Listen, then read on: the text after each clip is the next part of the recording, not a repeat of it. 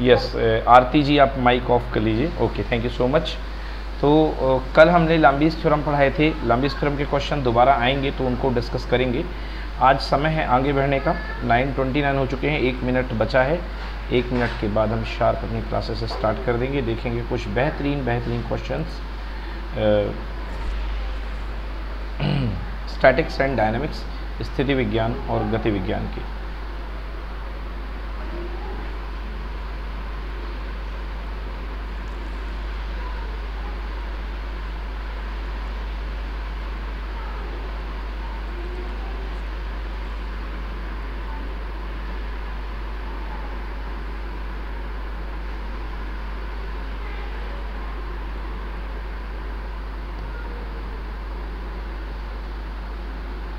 Okay तो चलिए 9:30 हो चुके हैं क्लास स्टार्ट करते हैं हम। ग्रुप में आप लोग एक बार मैसेज कर देते हैं, मैं भी मैसेज कर देता हूँ क्लास स्टार्टेड ओके और क्लास को देर में लगाते हुए स्टार्ट करते हैं हम लोग, चलिए। तो कल मैंने आपको क्वेश्चन वन और क्वेश्चन टू कराए थे और जिसमें मैंने लाम्बीस थ्योरम का कंसेप्ट डिस्कस किया था। और उसके बाद question number two question number one में लाम्बीस थ्योरम का कंसेप्ट क्वेश्चन डिस्कस किया था।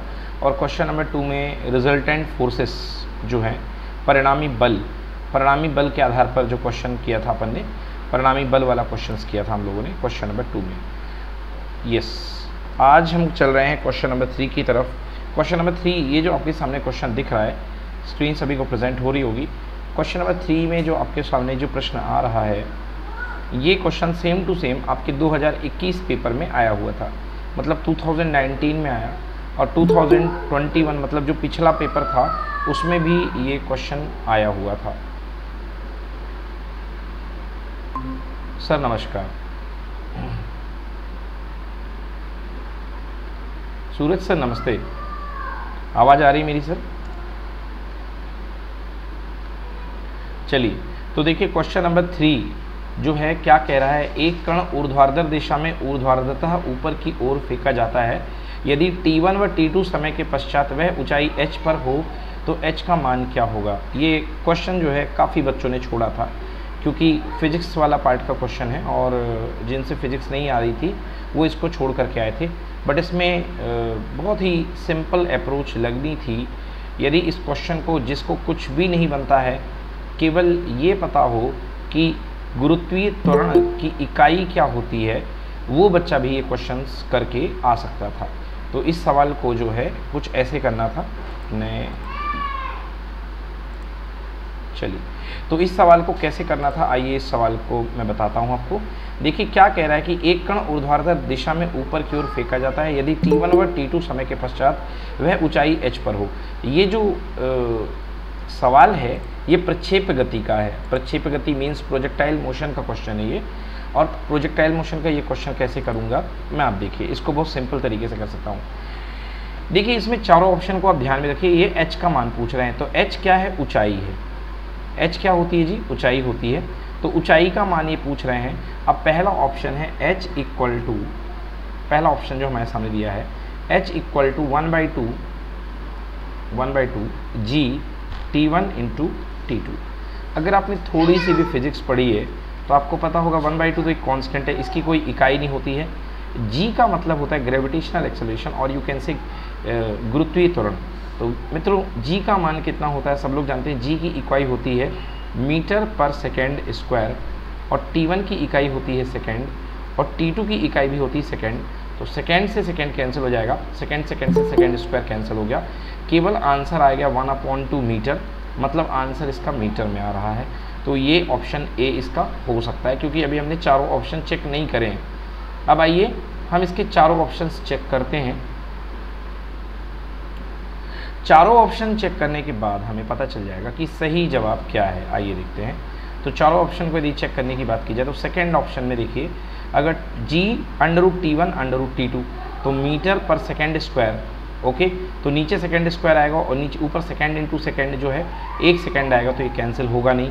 इधर देखिए, two G T one plus T two मतलब टू जी, टू की कोई इकाई होती नहीं जी की मीटर पर सेकेंड स्क्वायर और second plus second equal to second हो जाएगा। मतलब मीटर सेकेंड बनेगी यूनिट मतलब एक ही ऑप्शन दिख रहा है। बिना कुछ पेन चलाए, केवल दिमाग चला करके ये ऑप्शन नंबर ए इसका सही आंसर होगा। बोलिए, मेरी बात समझ में आई आपको कि नहीं आई? यस, इकाई समझ में आई? बताइए माइक ऑन करके आप लोग रिप्लाई तो कीजिए। वन साइडेड पढ़ाई में मज़ा नहीं आएगा आप लोग भी बताइए।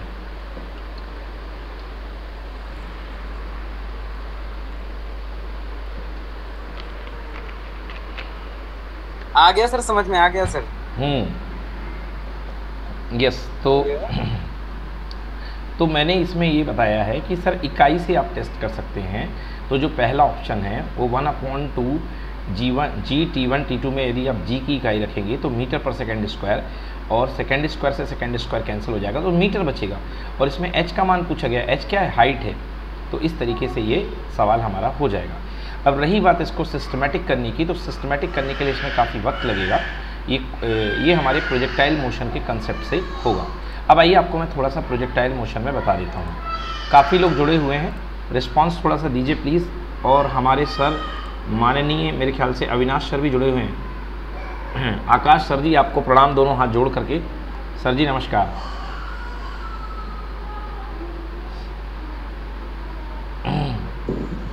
नमस्कार सर नमस्कार। नमस्ते सर जी। चलिए सर तो स्टार्ट करते हैं इसको। देखिए ये क्या होता है प्रोजेक्टाइल मोशन में? प्रक्षेप गति की कंसेप्ट की मैं बातें कर रहा हूँ। प्रोजेक्टाइल मोशन में कुछ चीज़ें आप बिल्कुल नोट कर लीजिए। देखिए इसमें क्या होता है? प्रक्षेप वह गति होती है जिसमें जो गुरुत्व के अधीन गति हुआ करती है और जो वन डायमेंशन मोशन मतलब एक विमी गति ना हो, दो विमी गति हो, जिसमें दो दिशाओं में वेग के कंपोनेंट टूटे, वेग के घटक टूटे, उसको हम बोलते हैं प्रक्षेप गति। तो होता क्या है? इसमें यू वेग से एक कण को आप ऊपर की तरफ़ फेंकते हैं। जिस कण को आप ऊपर की तरफ़ फेंकते हैं, वो कहलाता है प्रक्षेप। अब जब यू वेग से आप इसको फेंकेंगे तो इसके दो घटक टूटेंगे। एक घटक इसका कहलाएगा? एक्स दिशा का घटक u x equals to u cos theta और एक घटक इसका वाई दिशा का घटक कहलाएगा u y equals to u sine theta तो एक घट हो गया यू कॉस थीटा दूसरा हो गया यू साइन थीटा अब आप इस चीज़ को समझिए कि एक्स दिशा में किसी भी प्रकार का त्वरण काम नहीं करेगा तो एक्स दिशा में त्वरण कितना होगा?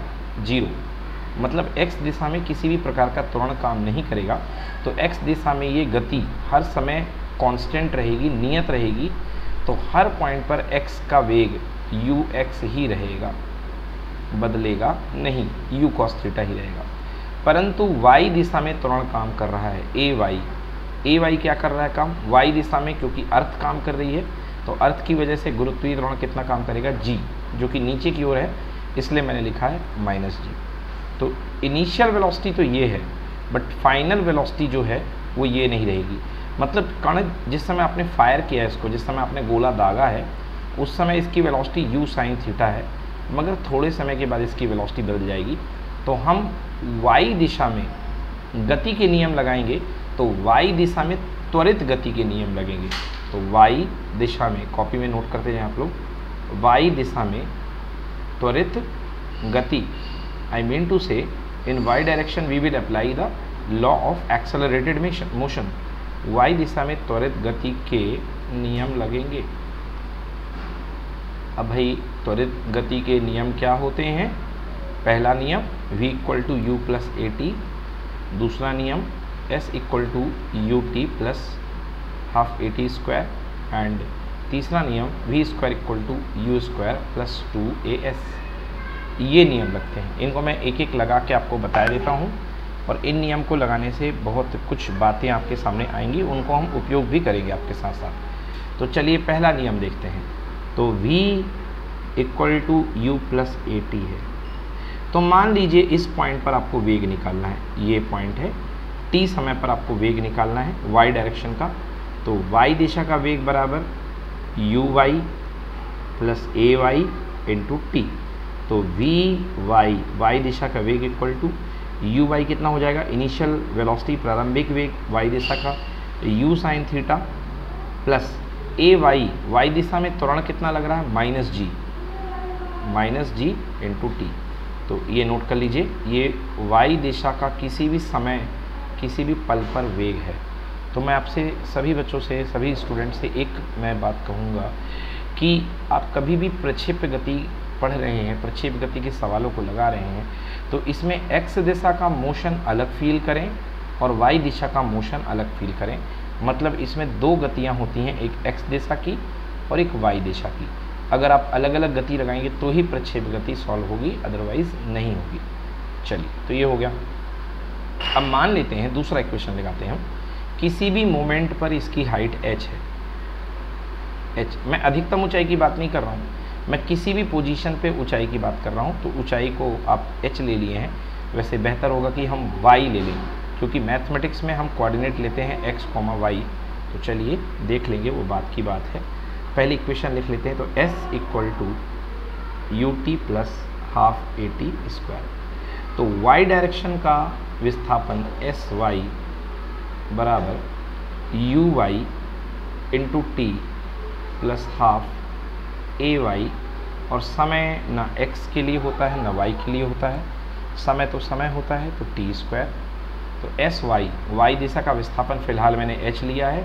तो h equal to u y means u sine theta into t plus half a y की जगह कितना? माइनस जी इंटू टी का स्क्वायर तो ये नोट कर लीजिए, ये किसका फॉर्मूला है?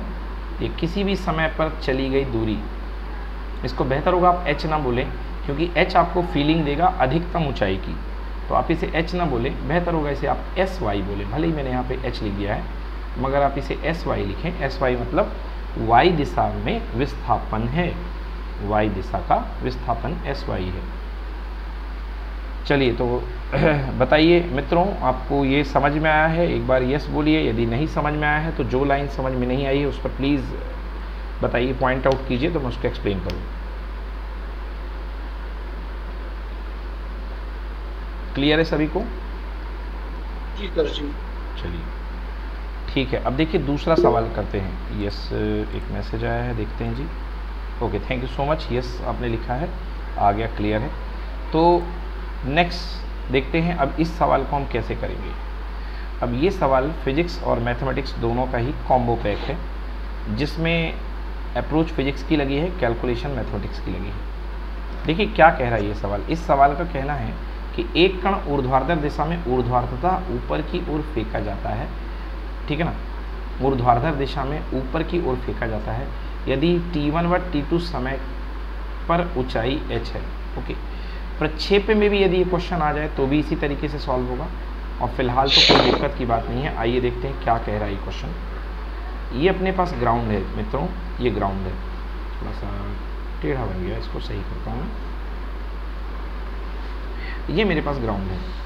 अब कह रहा है, यहाँ से आपने एक कण को ऊपर की ओर फेंका है ओके तो ऊपर की ओर फेंकने के लिए ज़ाहिर है कि कोई ना कोई वेलोसिटी होगी। तो ये ऊपर जाएगा और एक पॉइंट पर इसकी हाइट मैक्सिमम होगी और फिर ये नीचे की ओर गिरेगा। यस देख लीजिए देखिए, इसकी मैक्सिमम हाइट से हमें मतलब नहीं है। मैं मान लेता हूँ इसकी मैक्सिमम हाइट कैपिटल एच है। मगर जो हमारा सवाल दिया है ना, वो कैपिटल एच पे नहीं है। हमारा सवाल कह रहा है कि दो समय है T1 और T2 और T1 और T2 पर इसकी ऊंचाई h है। तो जब ये बॉल लौटेगी और जाएगी तो आप इस परिस्थिति पर विचार कीजिए। तो यहाँ पर जाने का समय, यहाँ तक ऊपर जाने का समय कितना होगा? T1 और लौट करके वापस आने के बाद कुछ समय और ऐड हो जाएगा। तो एक समय और मिल रहा है, ये वाला टाइम यहाँ से चल कर के ये पूरा ये वाला टाइम कितना है? टी टू और इन दोनों समयों पर हाइट कितनी है? एच है। तो इन दोनों ही टाइम इंटरवल पे हाइट हमारे पास एच दी गई है। अब कह रहा है कि यदि ये हाइट एच है तो आप एच का मान बताइए। अभी मैंने शॉर्ट ट्रिक से बता दिया है। बट आप जानना चाहते हैं कि इसका पूरा का पूरा सोल्यूशन कैसा आता है तो ये मैंने सोल्यूशन बना रखा है। हालाँकि ये मैंने प्रक्षेप गति के लिए ये सोल्यूशन मैंने बनाया है। ठीक है ना? तो प्रक्षेप गति में भी कोई फ़र्क नहीं पड़ेगा, क्योंकि बॉडी आप ऊपर फेंक रहे हैं। चलिए। तो प्रक्षेप गति में मैंने अभी अभी आपको बताया, s equal to u t plus half a t square चलिए। तो यदि प्रक्षेप गति के समीकरण को लगाएँ तो अभी अभी मैंने बताया h equal to u t u sine theta into t plus half a t square तो ए अप्लाई होता है माइनस जी तो बन जाएगा minus one by two g t square अब फील कीजिए इस बात को कि ये जो प्रक्षेप आपने फेंका गया है, दो समय है। एक यहाँ पर एक समय है टी वन और एक समय है टी टू टी वन और टी टू समय पर ये समान ऊंचाई पर है प्रक्षेप। समान ऊंचाई पर है। मतलब h ऊंचाई के लिए t के दो मान हैं t1 और t2 h ऊंचाई के लिए t के दो मान हैं t1 और t2 तो क्या करिए, वर्ग समीकरण बनाइए इसको। तो one upon two g t square left में ले जाइए। तो one upon two g t square minus u sine theta into t plus h बराबर ज़ीरो ये बन गया वर्ग समीकरण टी के पदों में। ये टी के पदों में वर्ग समीकरण बन जाएगा। और अगर हमारे T1 और T2 ऊंचाई h दे रहे हैं इसका मतलब T1 और T2 क्या होंगे? मूल। और हमसे क्वेश्चन में पूछा गया है मूलों का गुणनफल। देखिए, यहाँ पे हमारे पास जो है h पूछा गया है और यहाँ पे गुणनफल इन्वॉल्व है। तो हम क्या करते हैं? यदि इसके मूल T1 और T2 हैं, अगर ये क्वाड्रेटिक इक्वेशन है और इसके मूल अगर T1 और T2 हैं तो मूलों का गुणनफल निकाल लेते हैं। तो मूलों का गुणनफल equal to C upon A C की जगह यहाँ पे एच है और ए की जगह कितना है? वन अपॉन टू जी तो t one into t two equal to two h upon g और एच की वैल्यू कितनी आ जाएगी? एच की वैल्यू यहाँ से निकाल लीजिए। G t one t two upon two तो ये मैथमेटिकल अप्रोच यहाँ पे लग रही है। इसको नोट करिए प्लीज़ सवाल कीजिए। बोलिए क्लियर हुआ या मेथड की नहीं हुआ?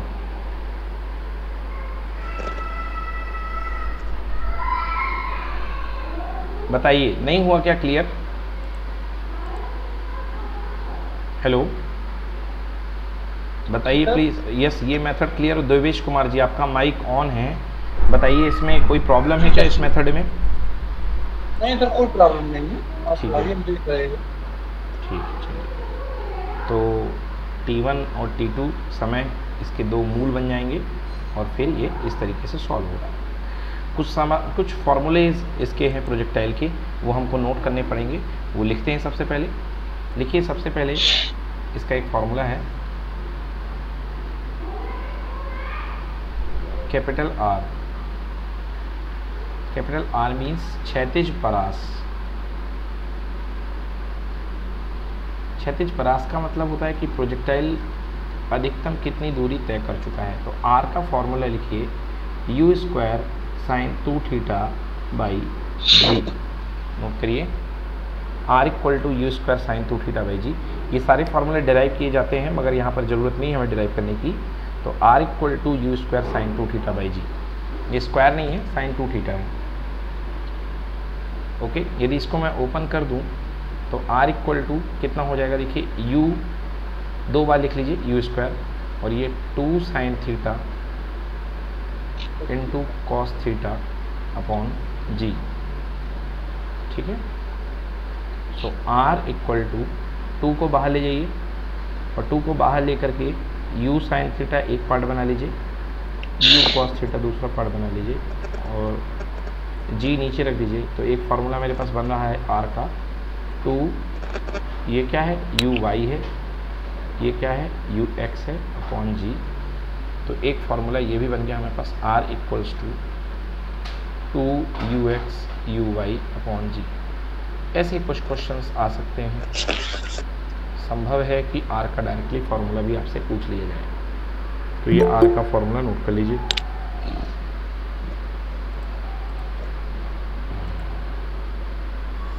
तो ये आर का फॉर्मूला हमारे पास हो गया। ठीक। अब लिखिए अधिकतम ऊंचाई। अधिकतम ऊंचाई। H तो अधिकतम ऊंचाई किस समय होगी? अधिकतम ऊंचाई जिस समय होगी? जिस समय वेग का y कंपोनेंट अधिकतम ऊंचाई पे कितना हो जाएगा? ज़ीरो क्योंकि अगर वेग कम, वेग का y कंपोनेंट ज़ीरो नहीं होता तो हमारा प्रक्षेप और ऊपर जाता। मगर अधिकतम ऊंचाई पर y कंपोनेंट ज़ीरो हो जाएगा। तो आप अधिकतम ऊंचाई का फॉर्मूला याद कर लें बस।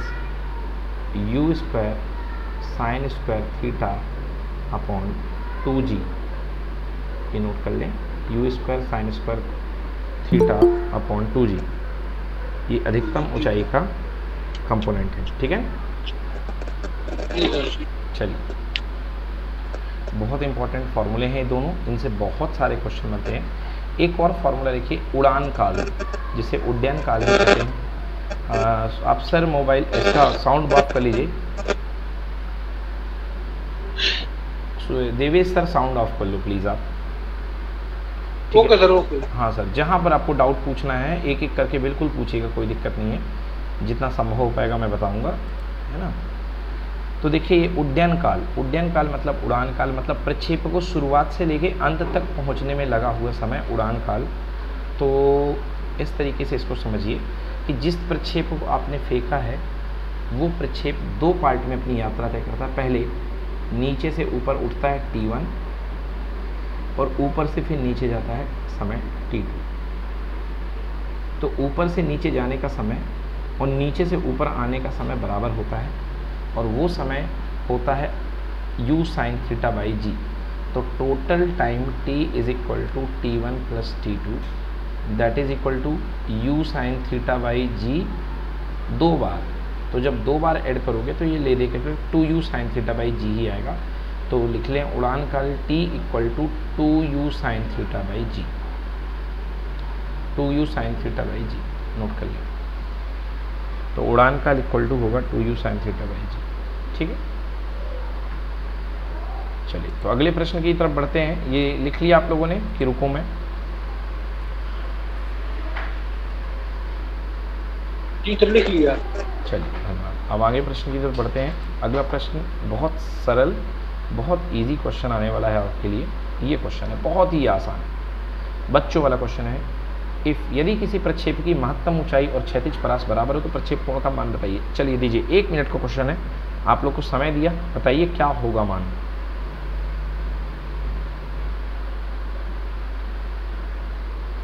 यदि प्रक्षेप की क्षैतिज परास और महत्तम ऊंचाई बराबर है तो प्रक्षेप कोण का मान क्या होगा?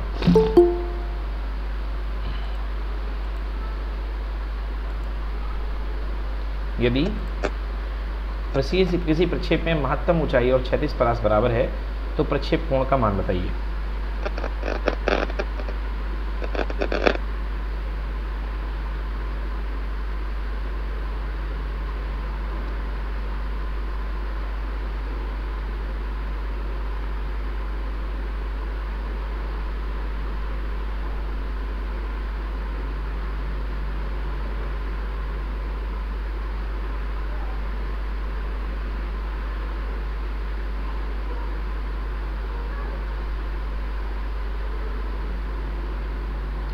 बताइए।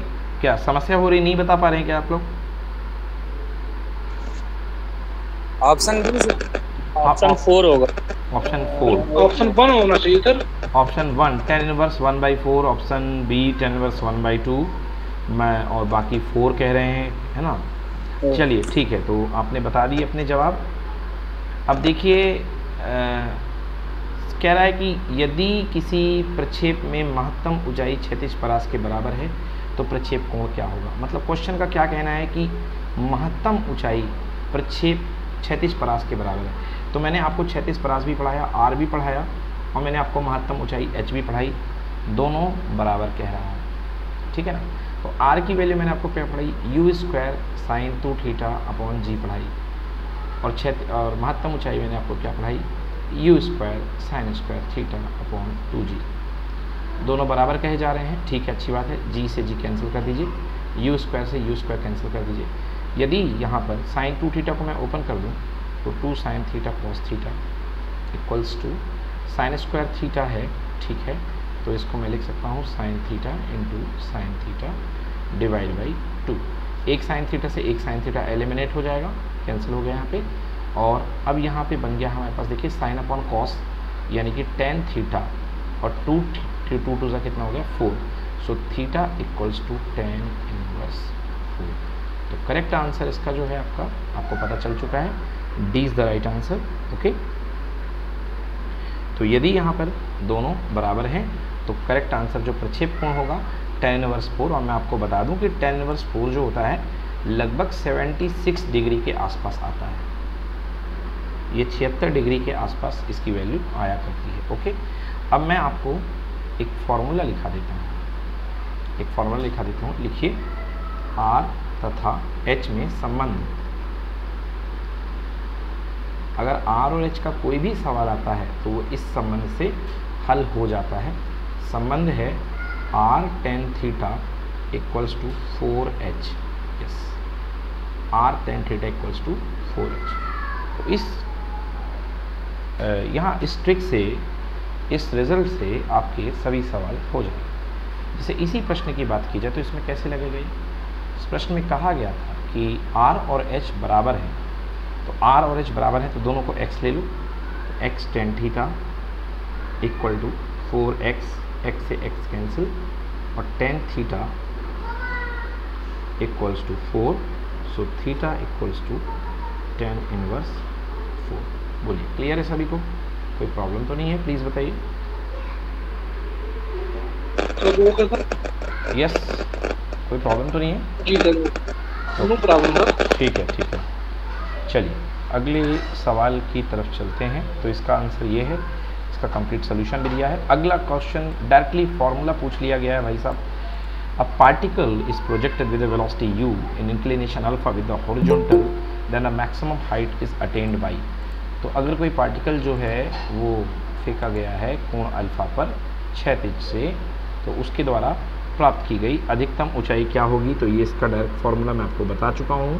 क्या होता बताइए? चारों को देख करके बताइए कौन सा होगा? U square sine two alpha upon g u square sine two alpha upon g नहीं होगा।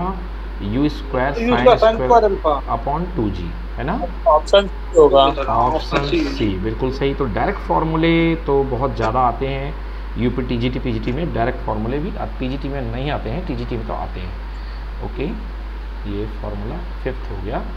अब चलिए क्वेश्चन नंबर सिक्स को करते हैं। क्वेश्चन नंबर सिक्स ओके मैं नहीं बताऊँगा इस क्वेश्चन को। बहुत ही एकदम इजी क्वेश्चन है और मैथ्स वाले तो इस क्वेश्चन को उड़ा देंगे। एक लाइन का क्वेश्चन है बताइए जी। देख के बन रहा है। चलिए बताइए क्या होगा, सोचिए ज़रा। एक मिनट लीजिए। पेन भी चलाने की ज़रूरत नहीं है इस सवाल में।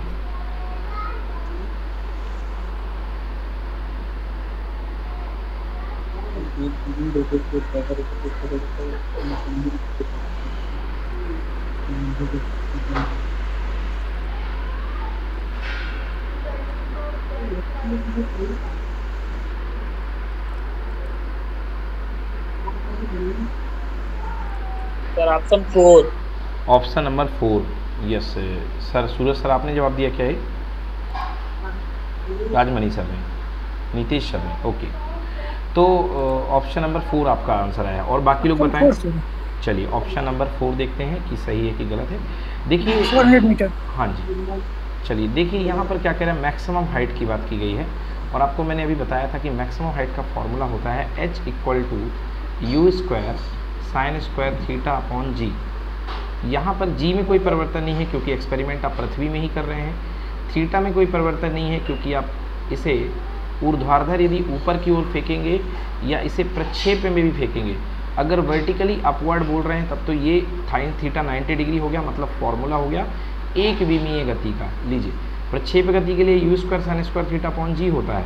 मगर एक विमीय गति के लिए थीटा की जगह 90 रख दो साइन 91 हो जाएगा। फॉर्मूला क्या बन जाएगा? U square upon g g constant है मतलब एच प्रपोर्शनल टू यू का स्क्वायर तो अगले केस में अगर आप इसको दोगुना करेंगे एच को तो टू यू हो जाएगा. तो टू यू स्क्वायर टू का स्क्वायर क्या निकल के आएगा? फोर मतलब जो वेलोसिटी हाइट है, वो ओरिजिनल की चार गुना हो जाएगी, क्योंकि दो का स्क्वायर चार बाहर निकल रहा है. तो चार गुणे ओरिजिनल हाइट कितनी थी? सौ. तो सौ का चार गुना चार सौ हो गया. बोलिए, समझ में आया कि पूरा करके बताऊँ? हो गया सर। हो गया। ठीक है ना आप इसको चाहें तो वैसे भी लिख सकते हैं। अधिकतम ऊंचाई 100 है और वो रेशियो वाला रूल बना करके। सर एक बार प्लीज़ एक्सप्लेन कर दीजिए दोबारा से। यस yes, मैं पूरा दोबारा से एक्सप्लेन कर देता हूँ। चलिए इसको देखते हैं। ठीक है म्यूट कर लीजिए आप प्लीज़ अपने आप को। देखिए h equals to u square sine square theta upon g होता है फॉर्मूला अब क्योंकि हम बात कर रहे हैं, हम प्रक्षेप की बात नहीं कर रहे हैं। अगर प्रक्षेप होता तो ये फॉर्मूला लगाई, क्योंकि इसमें कुछ ना कुछ थीटा आपको दिया होता है। मगर इस बार आप प्रक्षेप नहीं कर रहे हो, आप सीधे बॉल को ऊपर की तरफ़ ऊर्ध्वाधर फेंक रहे हो। मतलब थीटा कितनी डिग्री है? 90 डिग्री है। तो थीटा का भी असर पड़ने वाला नहीं है। तो साइन 90 कर दीजिए तो साइन 90 हो जाएगा वन क्योंकि आप बॉल को ऊर्ध्वाधर फेंक रहे हैं तो ये कोण 90 डिग्री हो गया। तो ये फॉर्मूला क्या बन गया है? U square upon g u square sine square theta upon two g होता है। Two g yes u square upon two g ठीक है ना? अब देखिए, यहाँ पर इसमें क्या दिया गया है? एच वन बराबर सौ मीटर। एच वन बराबर सौ मीटर, ठीक है ना?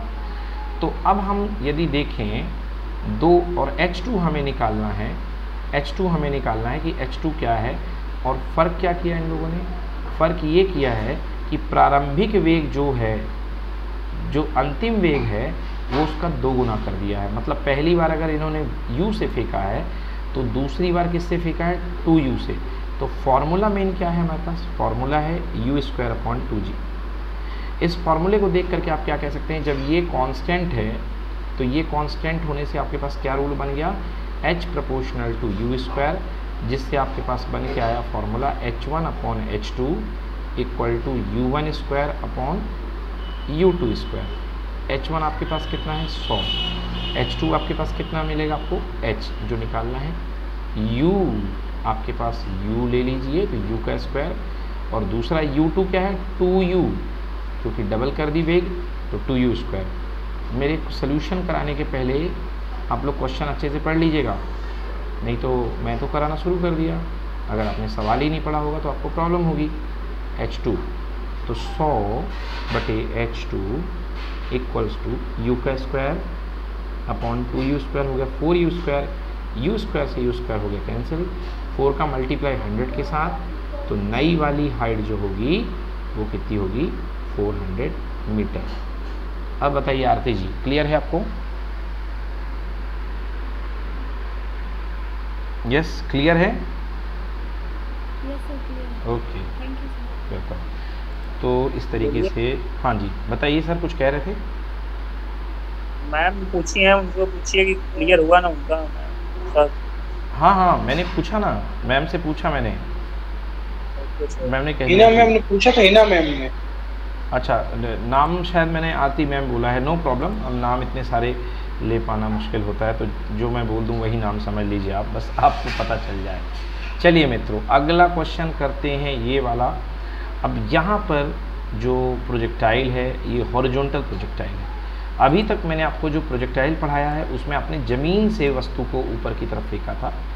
अब आप ऊपर से फेंकेंगे तो ये जो प्रक्षेप कहलाता है, पहला वाला, ये प्रक्षेप कहलाता है तिरक प्रक्षेप। और जो दूसरा प्रक्षेप पढ़ा रहे हैं, उसको बोलते हैं क्षैतिज प्रक्षेप। तो अब हम आपको पढ़ा रहे हैं।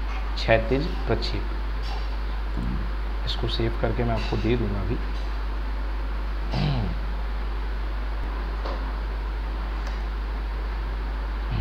चलिए तो दूसरे पे अब हम देख रहे हैं, मैं आपको बता रहा हूँ क्षैतिज प्रक्षेप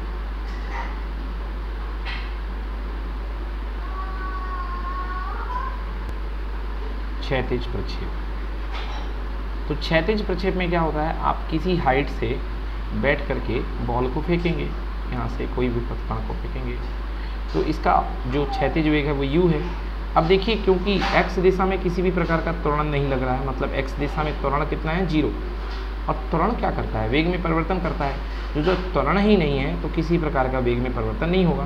तो यहाँ भी वेग कितना होगा? यू यहाँ भी वेग कितना होगा? यू मतलब क्षैतिज वेग हमेशा एक समान बना रहेगा यू मगर स्टार्टिंग पॉइंट में जब आपने इसको इधर थ्रो किया, इधर मारा है तो आपका वाई दिशा में वेग कितना था? ज़ीरो था। क्योंकि वाई दिशा में आपने इसे ज़ीरो वेग दिया है। मगर जैसे जैसे ये कण आगे बढ़ेगा तो वाई दिशा में वेग कार्य करना शुरू हो जाएगा। जैसे जैसे ये कण आगे बढ़ेगा, मान लीजिए टी पॉइंट पर, समय टी पर यह कण यहाँ आ गया। इस बिंदु पर समय है टी तो इसका वेग यहाँ पे कुछ ना कुछ आएगा। कैसे निकालेंगे हम वेग? समय समीकरण होता है v बराबर यू प्लस ए टी तो वेग निकालना हमें v y equal to u y plus a y into t तो आप समझिए प्रोजेक्टाइल क्या कहता है? जो मोशन होगा, सारे कंपोनेंट उसी के दिशा के हो जाएँगे। तो v y equal to u y plus a y into t तो वी वाई वेग बराबर यू वाई कितना है? Zero plus g acceleration into t तो वी वाई बराबर कितना आ गया? जी टी आ गया। अब कुछ लोगों के मन में सवाल उठ रहा होगा कि, सर, पिछले बार गति नीचे की तरफ़ जा रही थी तो आपने जी को माइनस लिया था, इस बार प्लस क्यों लिया है? क्योंकि इस बार मेरा वेग भी नीचे की तरफ़ है और मैंने नीचे के वेग को प्लस लिया है तो मेरे को जो नीचे की तरफ़ गुरुत्वीय त्वरण है, उसे भी क्या लेना पड़ेगा? प्लस लेना पड़ेगा। और अगर आप दोनों को माइनस लेना चाहें तो दोनों को माइनस ले लें तो भी माइनस माइनस कैंसिल हो जाएगा। तो गति के नियमों को लगाते समय, गति के समीकरणों को लगाते समय एक चीज़ ध्यान रखिएगा कि ऊपर वाली सारी राशियाँ एक ही दिशा में लेंगे। मतलब ऊपर वाले सब प्लस ले रहे हो तो नीचे वाले सारे माइनस और अगर ऊपर वाले सारे माइनस ले रहे हो तो नीचे वाले सारे प्लस मतलब एक कोई चिन्ह लेकर के चलना है आपको। आपका आंसर गलत नहीं आएगा, बिल्कुल सही आएगा। तो चलिए जी। क्या समझ में आया कि हमारे पास यहाँ पर, हमारे पास इस पॉइंट पर जो सभी इस पॉइंट पर हर पॉइंट पर जो है, सभी पॉइंट पर जो क्षैतिज वेग है वो समान बना रहेगा और जो ऊर्ध्वाधर वेग है वो बदलेगा। तो यदि मैं इस पॉइंट पर कुल वेग निकालूं तो मैं कैसा लिखूँगा? इसका एक है क्षैतिज वेग और एक है इसका ऊर्ध्वाधर वेग। तो मैं लिखूँगा कुल वेग v बराबर, v सदस्य बराबर u i cap u i cap है, इधर की ओर लगेगा, ऊपर की तरफ़ लग गया, u i cap plus v y j cap okay और जे कैप नीचे की तरफ़ हाँ तो अब आप कोऑर्डिनेट में आ चुके हैं तो आप माइनस लगा सकते हैं कि वेग का घटक जो है नीचे की ओर है है ना? तो अब आप कोऑर्डिनेट में आ चुके हैं तो माइनस जे कैप डायरेक्शन है तो वो लगा सकते हैं। तो यहाँ पे यदि कुल वेग की बात की जाए तो u i cap minus v j cap आप यहाँ पे लगा सकते हैं। ठीक है? तो इसको आप देखें। कुल वेग यदि इस बिंदु पर देखा जाए तो वेग के दो घटक निकल रहे हैं। एक निकल रहा है u और एक निकल रहा है वी वाई तो वी वाई कितना निकला है? जी टी दोनों 90 अंश पे हैं। तो जो परिणाम इसका आएगा, आप सबको पता है, सदिश का परिणामी कैसे निकाला जाता है? Under root a square plus b square वाले फॉर्मूले से तो इसका यदि परिणामी आप निकालना चाहें तो इसका परिणामी आएगा v equals to under root u square plus g t का होल स्क्वायर तो इस तरीके से आप इसका परिणामी सदिश और सॉरी परिमाण निकाल सकते हैं। चलिए तो अब इस सवाल को पहले इस टॉपिक को नोट कीजिए, फिर आगे पढ़ते हैं। ठीक है? इसको नोट कीजिए। फिर इस पर क्वेश्चन करेंगे। ये इसका क्या है? ये इसका वेग है। किसी भी बिंदु पर, किसी भी समय पर परिणामी वेग क्षैतिज प्रोजेक्टाइल में हॉरिजॉन्टल प्रोजेक्टाइल में ये निकलेगा। लिख लिया दोस्तों?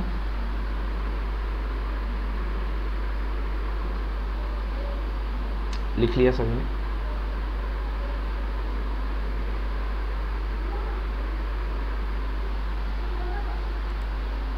रिप्लाई करें, लिख लिया ना? यस ओके चलिए तो देखते हैं, इस पर क्वेश्चन करते हैं। ये क्वेश्चन लिखा है a stone is projected Hindi में पढ़ूँगा। एक पत्थर को 100 मीटर ऊँचे स्तंभ से 9.8 मीटर पर सेकंड के वेग से क्षैतिज दिशा में प्रतिक्षिप्त किया जाता है, प्रक्षिप्त किया जाता है। प्रक्षेपण के एक सेकंड बाद उसका वेग क्या है? लो भैया। ये हाइट दे रखी है 100 मीटर, बहुत बढ़िया। 100 मीटर हाइट से एक पत्थर को फेंका गया। इसकी जो क्षैतिज वेलोसिटी है, वो है नाइन, नौ दशमलव आठ मीटर पर सेकेंड। अब ये इसके बाद ऐसे गिरेगा। यकीनन जिस समय फेंका गया था, उस समय समय टी बराबर ज़ीरो था। एक सेकंड के बाद मान लो यहाँ पहुँच गया। तो कह रहा प्रक्षेपण के एक सेकंड के बाद उसका वेग क्या होगा? मतलब आपको इसकी कुल वेलोसिटी निकालनी है। तो प्रक्षेपण के एक सेकंड के बाद कुछ इसका क्षैतिज वेग होगा और कुछ इसका ऊर्ध्वाधर वेग होगा। आप सबको मैंने बताया। क्षैतिज वेग में कोई परिवर्तन नहीं आता है। क्षैतिज वेग कितना होगा? 9.8 मगर ऊर्ध्वाधर वेग जो होता है अभी अभी मैंने बताया आपको v y equal to u y plus g t क्योंकि बॉडी ऊपर से नीचे की तरफ़ जाएगी तो त्वरित होगी। तो वी वाई बराबर जी टी तो यहाँ पे यदि मैं जी टी की वैल्यू निकालूँ तो जी इंटू टी जी कितना लिखिए यहाँ पे? जी है 9.8 और टी कितना है? एक सेकेंड तो ये भी कितना हो गया? 9.8 मतलब दो कंपोनेंट काम कर रहे हैं। ये वाला भी 9.8 है और ये वाला भी 9.8 है। और आप सबको पता है कि जब ए लग रहा हो इधर और ए लग रहा हो इधर तो दोनों का जो परिणामी होता है वो क्या होता है? ए रूट टू मतलब मैं लिख सकता हूँ 9.8 रूट टू होगा। इसका परिणामी सदिश। चलिए देखते तो ऑप्शन में है क्या? यस है। आंसर आएगा 9.8 root two under root a square plus b square से आप कर सकते हैं। ये इसका सोल्यूशन है। ये देख लीजिए इसको। बोलिए क्लियर है बच्चों?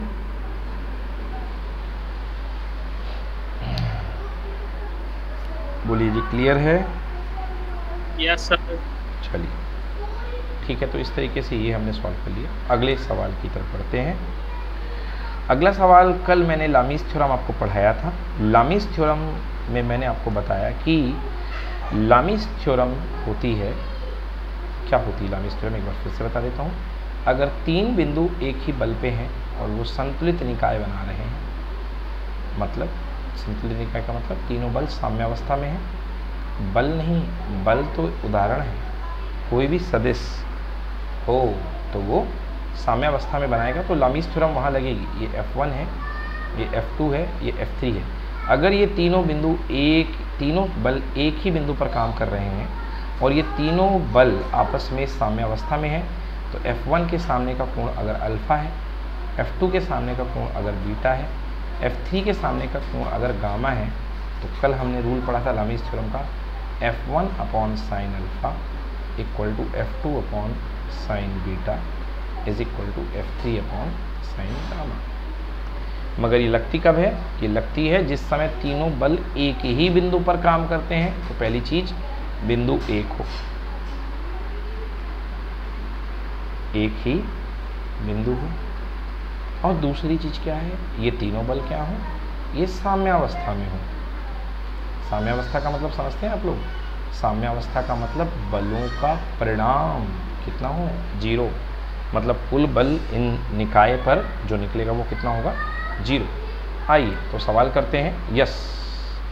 क्वेश्चन है यदि एक पिंड साम्यावस्था में है तो उस पर तीन बल कार्यरत हैं तो बताइए वो तीनों बल कैसे होंगे?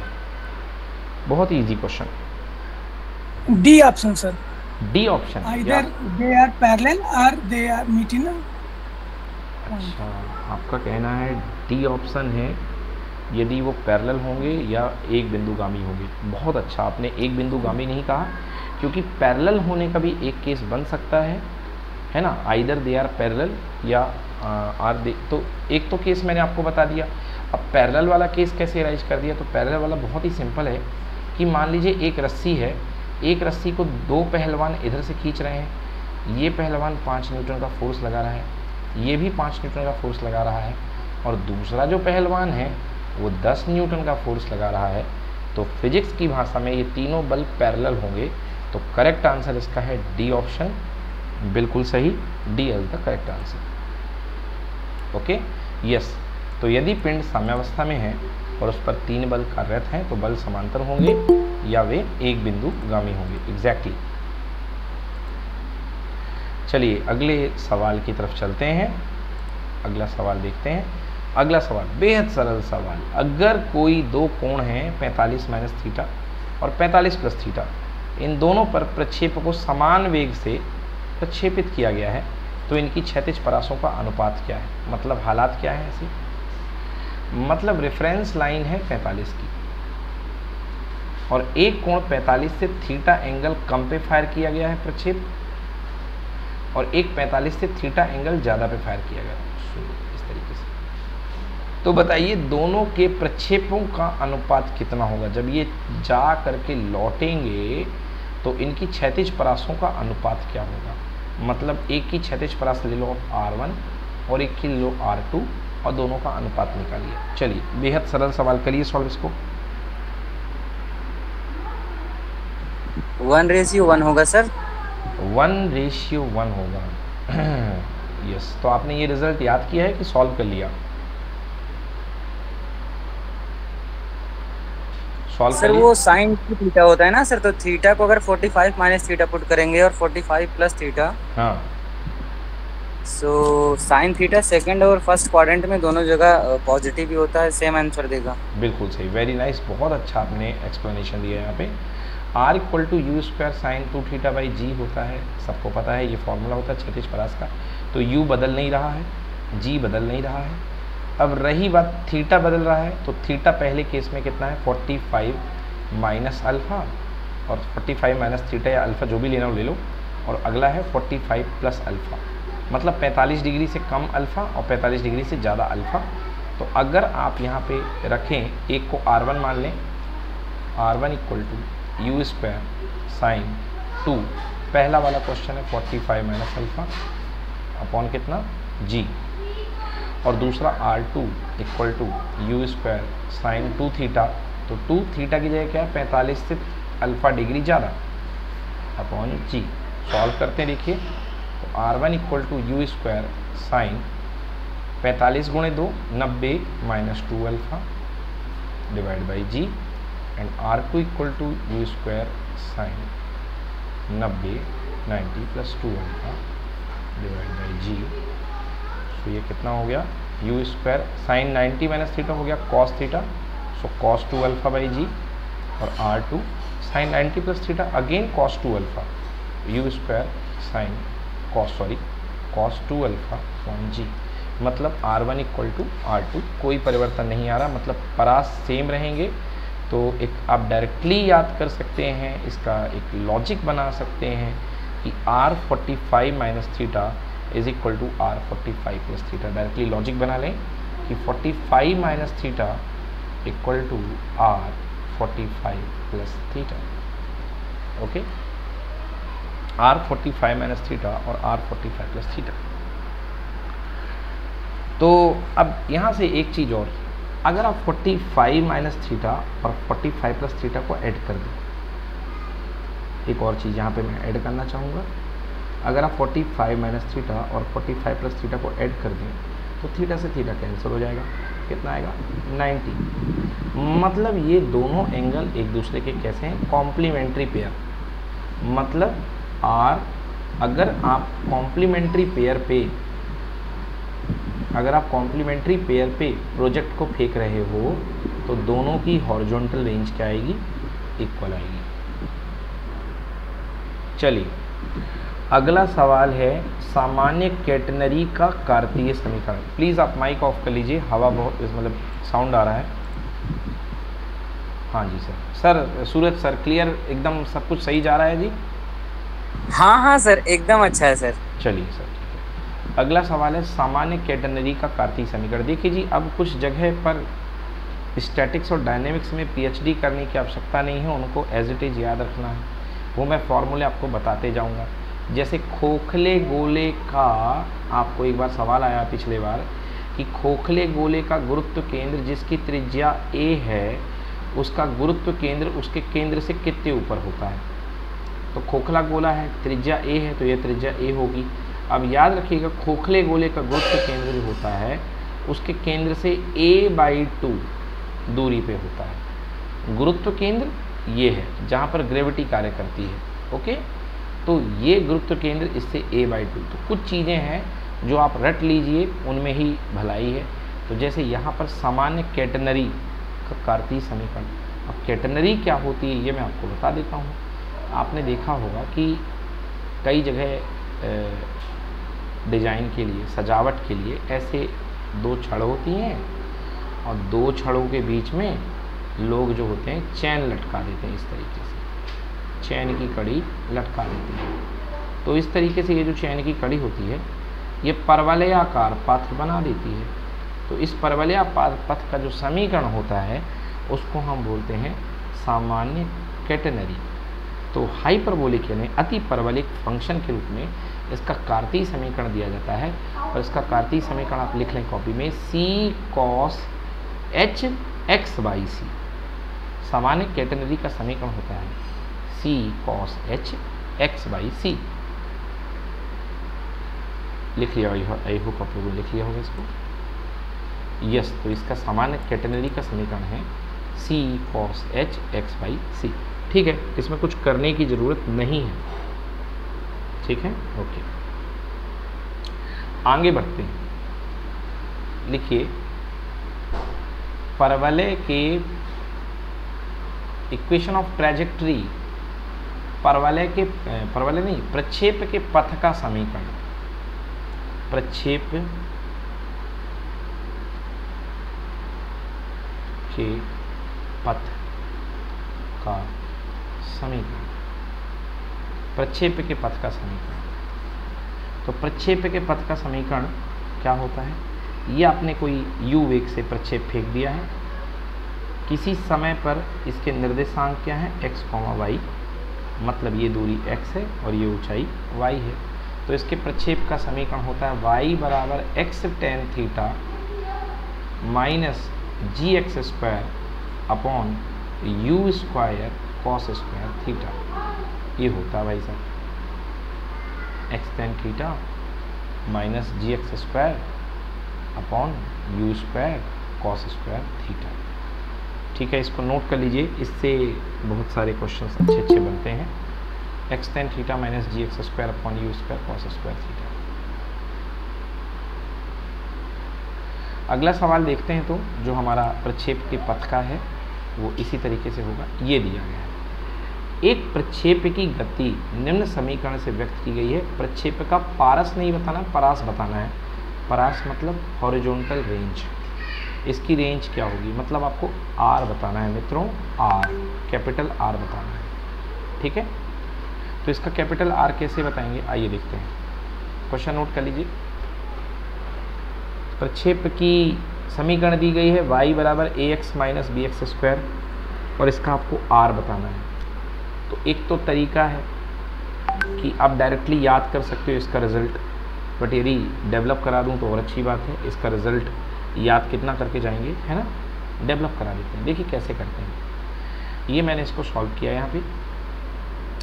प्रक्षेप का समीकरण दिया है y बराबर a x minus b x square और हम जानते हैं कि प्रक्षेप की जो ट्रेजेक्ट्री का समीकरण होता है, जो पथ का समीकरण होता है वाई बराबर x tan theta minus one upon two g bracket में u square cos square theta into x square मतलब वही जो मैंने लिखा आपके सामने भी कॉपी में, ऊपर लिखवाया मैंने। Y equal to x tan theta minus one by two g x square upon u square cos square theta okay अब देखिए ये समीकरण है। आपको क्या बनाना है यहाँ पर? आर बनाना है। तो आर बनने के चांसेस कहाँ दिख रहे हैं? यहाँ पे दिख रहे हैं। क्योंकि क्योंकि यहाँ पे यू है। तो यहाँ पे आर बनाइए। तो आर बनाने के लिए देखिए क्या करना पड़ेगा हमें। आर होता है u square sine two theta by g तो आर बनाने के लिए मेरे पास यहाँ पे मैं क्या करूँगा देखिए? मैं यहाँ पे कॉस थीटा तो है मेरे पास, मैं साइन थीटा का मल्टीप्लाई करता हूँ। इसको बहुत अच्छे से हमको समझना पड़ेगा। यहाँ पे मैंने सॉल्व किया है। X tan theta minus one upon two g u square cos square theta एक साइन थीटा का ऊपर गुणा किया, एक साइन थीटा का नीचे गुणा किया। ओके? और एक्स स्क्वायर को एज इट इज़ छोड़ दिया। अब देखिए यू स्क्वायर और मैं टू साइन थीटा और कॉस थीटा को साथ में ले लूँ तो मेरे पास बन जाएगा g upon u square sine two theta okay तो u square sine two theta upon g जो होता है, वो क्या बनता है? आर बनता है। मतलब अपॉन में आर आ जाएगा और साइन और कॉस की जोड़ी मिलकर क्या बन जाएगी? टेन थीटा अपॉन आर तो फाइनली फॉर्मूला जो आपका बनेगा Y is equal to X tan theta minus X square tan theta by R आप टेन थीटा कॉमन ले लें तो क्या हो जाएगा? Y is equal to tan theta X minus X square upon R बताइए ये ये क्लियर हुआ कि नहीं हुआ? ये फॉर्मूला आपने बना लिया है। क्षैतिज परास के पदों में आपकी आवाज़ नहीं आ रही, आपका जो माइक है वो शॉर्ट हो रहा है। इसलिए जिसने भी बोला है, उनको आवाज़ नहीं आ रही है। आप मैसेज टाइप कर दो टाइप कर दो मैसेज कर करा के आपकी आवाज़ आ रही, आपकी क्लियर आवाज़ नहीं आ रही। So Y equal to tan theta X minus X square upon R ये हमारा बन गया प्रक्षेप का समीकरण। आगे चलते हैं। तो हमारे पास प्रक्षेप का समीकरण क्या बना? Y equal to tan theta X minus X upon R चलिए। तो ये मेरे पास प्रक्षेप का समीकरण बना अब हमारे पास जो प्रक्षेप का समीकरण दिया क्या? Y equal to A X minus B upon X square तो एक्स अकेला होना चाहिए तो ए कॉमन ले लिया मैंने। X minus B upon A X square okay? B upon A को नीचे पलट के मैं क्या लिख सकता हूँ? ए अपॉन बी तो ये किसका काम करेगा? ये काम करेगा आर का। तो इस तरीके से आर का मान क्या हो गया? ए अपॉन बी और अगर आप बात करें शॉर्ट ट्रिक की तो अगर आपके पास प्रक्षेप का पथ है A X minus B X square और आपसे आर बोला जाए तो सीधे याद कर लो, ऐसी सिचुएशन में आर होगा ए अपॉन बी कुछ भी नहीं करना है। सीधे याद करके चले जाइए कि ऐसी सिचुएशन में आर यानी कि क्षैतिज परास जो होगी वो होगी ए अपॉन बी आप याद भी कर सकते हैं इसको। ठीक है मित्रों समझ में आया कि नहीं आया? बताइए प्लीज़ एक बार। हाँ जी। चलिए अगला सवाल लिखते हैं। लास्ट सवाल आज की क्लास का। दो समान पूर्ण प्रत्यास्थ पिंड सीधे टकराते हैं तो टकराने के बाद। देखिए बात क्या करती पूर्ण प्रत्यास्थ। मतलब परफेक्टली इलास्टिक परफेक्टली इलास्टिक मतलब गतिज ऊर्जा बिल्कुल भी नष्ट नहीं होगी। आइए देखते हैं गतिज ऊर्जा का फॉर्मूला आप सब लोग जानते हैं। हाफ़ एम वी स्क्वायर होता है। तो होता क्या बेटा? यहाँ पे एक पिंड है ए जिसका वेग है यू और दूसरा पिंड है v, जिसका वेग है v ज़ाहिर सी बात है, टकराना है मतलब यू ज़्यादा होगा और वी ज़्यादा होगा। और आपको पता है, गतिज ऊर्जा संरक्षित रहती है तो टोटल गतिज ऊर्जा यदि देखी जाए तो क्या होगी? Half M U square plus half M V square अब गतिज ऊर्जा संरक्षित है तो गतिज ऊर्जा को बराबर रखने के लिए हमें क्या करना पड़ेगा? जब ये टकराएँगे और पूर्ण प्रत्यास्थ पूर्ण प्रत्यास्थ टक्कर है तो पूर्ण प्रत्यास्थ टक्कर में ई का मान कितना होता है जी? ई का मान होता है एक। ठीक है ना? तो पूर्ण प्रत्यास्थ टक्कर है यहाँ पे। तो पूर्ण प्रत्यास्थ टक्कर के लिए ई मतलब प्रत्यावस्थान गुणांक। तो क्या हो जाएगा? वेलोसिटी यानी इनके वेग इंटरचेंज हो जाएँगे। तो अब जो पहला वाला पार्टिकल है इसका वेग हो जाएगा v और दूसरे वाले पार्टिकल का वेग हो जाएगा u तो आंसर क्या है? वेग अदला बदली हो जाएगी। आपस में वेग परिवर्तित हो जाते हैं। चलिए तो आज इतने क्वेश्चंस कर लिए हैं हमने। 12 क्वेश्चन कर लिए। आज के लिए इतना ही। अब कल मिलेंगे। धन्यवाद दोस्तों। Thank you sir thank you